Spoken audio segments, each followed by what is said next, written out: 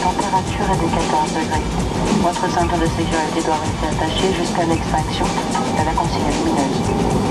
Nous vous rappelons que l'utilisation des téléphones portables est autorisée qu'après l'arrivée de notre point de stationnement. Lors du débarquement, nous vous demandons d'ouvrir les coffres de bagages avec précaution afin d'éviter la chute d'objets. Merci d'avoir voyagé sur ce vol Air France. Au nom d'Air France, KLM et de ses partenaires Skyteam, nous vous souhaitons une excellente soirée.